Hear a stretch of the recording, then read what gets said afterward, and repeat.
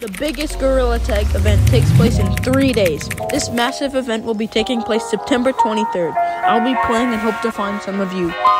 Many big YouTubers, such as these, will be participating. You won't want to miss this. And that is